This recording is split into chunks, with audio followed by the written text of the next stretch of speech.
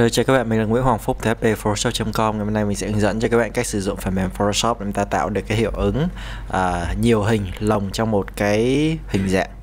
Mình cũng không biết chắc chắn gọi tên là gì nhưng mà đại khái chúng ta sẽ có cái kết quả kiểu như thế này.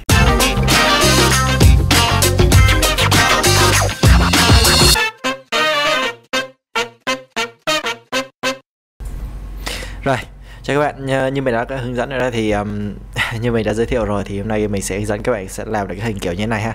Cái cách làm này chúng ta rất phù hợp cho cái chuyện làm ta thiết kế bìa, thiết kế bìa album hoặc là chúng ta làm thiết kế bìa ảnh cưới hoặc là làm lịch ha. Ví dụ như là trang trí cái bìa lịch chẳng hạn vậy.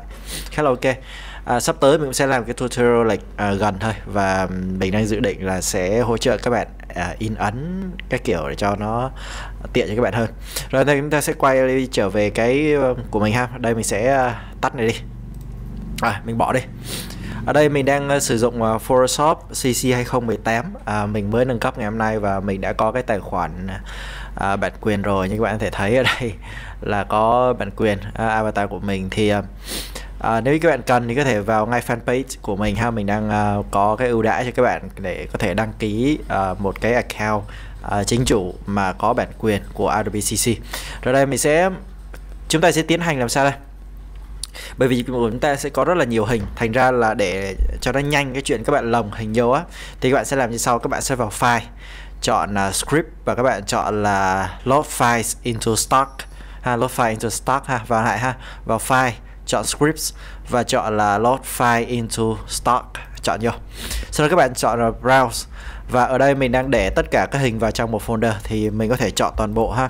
Mình sẽ chọn toàn bộ và click OK. Sau đó Photoshop sẽ duyệt ra kiểu như thế này. Thì đây các bạn sẽ bấm OK. Các bạn không check gì ở đây hết nhé các bạn bấm OK. Đó, sau đó tự Photoshop nó sẽ mở file lên và nó sẽ lồng tất cả những cái hình vô trong một cái à, vô trong một file à, vô trong một canvas ha đó chỉ chúng ta chỉ việc chờ thôi các bạn thể thấy nó đang chạy nè. Để đỡ chúng ta mất cái chuyện là chúng ta phải kéo thả kéo thả kéo thả rất mất thời gian. Rồi đó để đây chúng ta đã mở một lần à, 15 cái hình ở trong một file. Ở đây mình sẽ tạo ra một cái hình nền à, để cái nền ở dưới Ctrl Shift N N thấp á, và click OK ở đây mình sẽ um, cái nó fill cái màu trắng lên màu màu trắng đang ở màu background này. Để fill màu background nhanh thì mình sẽ để phím Control delete. Rồi sau khi xong rồi mình sẽ uh, click vào cái hình này và chọn uh, giữ phím shift chúng ta chọn để chúng ta chọn tất cả layer hình ha. Sau đó chúng ta sẽ bấm Ctrl T để chúng ta thu nhỏ lại. Ai. nhớ bấm Ctrl T để thu nhỏ lại để chúng ta không không bị um, nó kiểu nói sao nó nó bị móp hình á rồi để chúng ta sẽ thu nhỏ lại một chút xíu. Rồi mình thấy ở đây là khá ok. Rồi chúng ta sẽ tiến hành đếm. Ở đây mình đang có ờ, 15 15 layer. À, mình mình sẽ làm cho nó trải rộng ra một chút xíu để mình có thể làm được hai cái hình hoặc là một cái hình tùy các bạn ha. Như đây mình muốn làm mà nó tương đối trải rộng chút xíu mình sẽ làm hai hình trái tim lên như hình mẫu này các bạn thấy rồi đó. À, thì để làm được như vậy thì chúng ta sẽ à, mình chia ra thì ở đây nó sẽ là 15 đúng không? 15 thì nó sẽ là 5 nhân 3 tức là 5 hàng 3 cột thì nó không đủ. Thành ra đây mình sẽ nhân đôi một file bất kỳ lên mình bấm Ctrl J lên sau đó mình kéo đại ở một vị trí khác để để chúng ta được cái um, là 16 hình. Thì các bạn có thể chuẩn bị sẵn 16 hình cũng được nhưng mà đây mình đang chữa cháy cái chuyện đó. Thì đây chúng ta có 16 hình thì chúng ta sẽ phải chia thành là bốn hàng bốn cột. Ha, cách cách làm nhanh của mình để chúng ta không cần phải kéo tay. Thì đây mình sẽ bắt đầu nhóm. Thì đây mình nhóm một cái là bốn đúng không? Mình bốn hàng bốn cột mà tức là mỗi mỗi hàng như vậy là bốn hình thì mình sẽ chọn bốn hình. Sau đó mình chọn là bấm Ctrl G. Đây là một ha đây là một nhóm. Và mình lại chọn bốn file tiếp Ctrl G ta lại chọn một cái sau đó đè phím shift cái cái đây mình có bốn layer bấm chân G. Và đây mình tiếp tục là như vậy. Đây mình có bốn hàng rồi ha. Rồi đây mình sẽ um, căn cái hàng này. Mình sẽ căn hàng trước ha. Mình sẽ đưa cái file 1 lên trên. À, sau đó file 4 mình để ở dưới. Mình để đại vậy thôi. Sau đó mình chọn tất cả layer tất cả các group này và mình chọn là căn giữa này sau đó mình sẽ căn đều với nhau này đó thì các bạn thể thấy là đây cái cái size chúng ta đã, đã căn đều với nhau ha. Tuy nhiên là đây nó chưa căn hẳn ra thành ra là mình có thể mình sẽ thu nhỏ nó lại chút xíu. Thu nhỏ nó lại chút xíu và sau đó mình đưa cái số 1 lên trên hơn chút xíu nữa đưa số 4 xuống dưới hơn chút nữa và sau đó mình sẽ chọn lại và mình lại căn đều bấm canh đều. Đó thì đây mình cảm thấy khá ok khoảng cách này. Khoảng cách này mình thấy nó hơi xa thành ra là mình sẽ chọn vào cái layer số 4 này sau đó mình sẽ click cái nút uh, đi lên á, để chúng ta đưa nó lên chút xíu nữa. Và mình lại chọn bốn cái và chọn căn đều. Đó thì hôm nay sẽ có cái khoảng cách nó kiểu như thế này khá là ok. Rồi đây tiếp theo nữa mình sẽ gióng hàng. Mình sẽ bật cái um, rule cái cái thước kẻ lên bạn sẽ bấm Ctrl R để chúng ta có cái này ha. Và chúng ta sẽ đưa mình đang chọn tất cả đây sau đó mình sẽ đưa đưa cái trỏ chuột vào trong cái thước kẻ chúng ta và kéo ra thì các bạn sẽ có cái guideline. Đưa vô nó tự động nó sẽ bám vô. Tương tự ở trên này cũng sẽ làm như vậy ha. Rồi sau khi xong rồi mình sẽ quay trở lại với group 1 đầu tiên. À, mình sẽ đưa cái trên đầu này ra ngoài. Rồi đưa đại ra một cái vị trí vậy thôi. Sau đó mình chọn bốn layer này và mình lại căn căn uh, theo chiều ngang. À, click cái nó sẽ căn theo chiều ngang. Đó các bạn có thể thấy là đây chúng ta làm rất là nhanh mình sẽ giãn ra hơn chút nữa lại căn theo chiều ngang. Làm sao để cho cái khoảng à, cái cái à, cái khoảng cách ở chiều ngang với chiều cao nó như nhau ha? Mình sẽ lại đưa nó ra thêm một chút nữa. Lại căn rồi tạm thời như thế. Thì đây mình đã có cái à, trên đầu rồi mình sẽ lại tạo cái guideline ở set bìa của thằng này ha. Sau khi xong rồi những cái ở dưới sẽ rất nhanh. Lý do là vì chúng ta chỉ cần uh, dùng move tool này các bạn click kéo ôi đây là group 2 ở uh, group 2 này nằm ở đây hả? Rồi đưa nó ra vừa set như thế này. Và cũng chọn tất cả và chọn căn đều. Đó thì các bạn sẽ thấy nó nó rất là giống nhau. À, tương tự với group 3 mình cũng đưa ra đây. Group 3 này nằm ở đây. Bữa rồi chọn và mình sẽ căn đều tương tự thế với group 4 đã chọn tất cả và lại căn đều ở giữa. Rồi ha.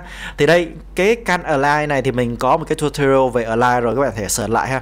Rồi sau khi xong rồi mình bấm Ctrl H để mình bỏ hết những cái guideline đi, các bạn thể tắt bà tắt này đó. Thì sau khi xong rồi, đây mình sẽ gom lại và mình sẽ gom bốn cái group này lại thành một group ha, thành một group. Ở đây mình có thể là điều chỉnh lại size chẳng hạn vậy, điều chỉnh lại size chút xíu tùy các bạn. Rồi sau khi xong rồi tới bây giờ chúng ta tiến hành tạo hình cho nó ha. Mình sẽ tạo cái khung hình ở ngoài. Và để làm việc đó thì mình sẽ sử dụng cái um, chức năng gọi là clipping mask. Ở đây thì mình sẽ tạo một cái shape ha. Ở đây shape thì bạn có thể chọn custom shape. À, ở đây mình click vô đây thì các bạn sẽ thấy một số cái shape. À, mặc định thì nó sẽ có cái hình trái tim hình họa các kiểu. Còn nếu như các bạn các bạn thích các bạn có thể lên uh, trên uh, uh, những cái trang này chẳng hạn. Thế các bạn có thể search là um, tim là gì nhỉ?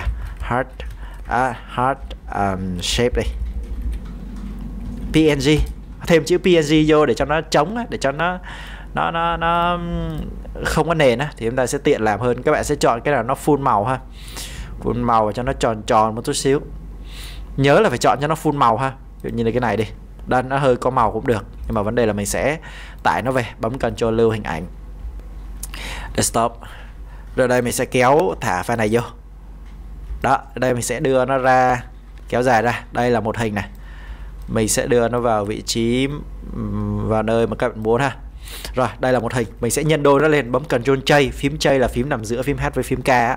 phím chay bấm cần Ctrl chay đưa lên và quay trở lại move tool này và chúng ta đưa ra ngoài. Đây, mấy các bạn có thể bấm cần Ctrl T và chúng ta thu nhỏ lại.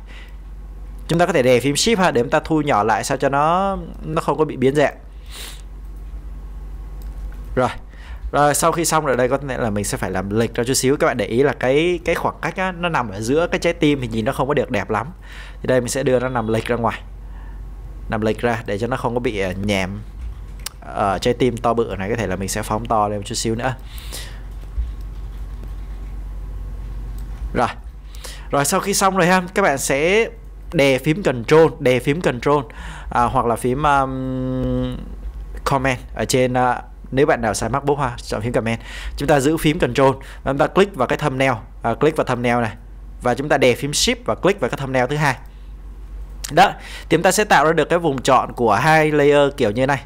Sau đó các bạn quay trở lại cái group này ha quay trở lại cái group này và các bạn bấm vào grid à, vào cái clipping mask à, layer mask. Các bạn sẽ chọn layer mask ha. xin lỗi nãy mình nói cái đoạn clipping mask là mình nói sai đó mình nói nhầm. À, mình sẽ sử dụng cái mask ha, layer mask. Các bạn chúng ta có vùng chọn rồi, thì bạn sẽ tạo là add layer mask, ha, click vô cái. Đó, thì chúng ta sẽ có như này.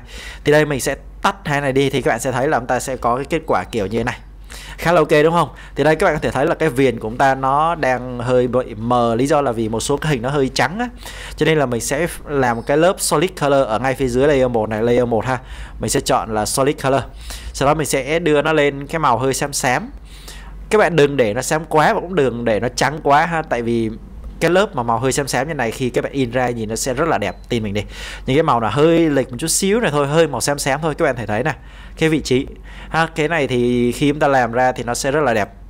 Ok, khi in ra rồi sau khi xong rồi các bạn có thể thêm chữ hoặc là bất kỳ cái gì cũng được. Và nếu như các bạn cần thay đổi vị trí, các bạn có thể click cái này thôi và các bạn đưa ra, ví dụ như là tạo một cái file à, A4 để các bạn làm bìa chẳng hạn thế, mình sẽ tạo và chọn là print à, A4 A4 đâu à, đây A4 đó thì mình có thể kéo thả cái này qua đây. Đó khá là hay và đây có thể thêm chữ bìa kiểu thế. À, khá là ok mình có thể bấm Ctrl T này. Đó chúng ta có cái group này. Rồi thì đó là cái cách để chúng ta làm cái hiệu ứng uh, lồng hình và trong một nhóm hình ha à, mình cũng không biết. Tới giờ không biết phải gọi nó là cái gì cho là hợp lý nữa.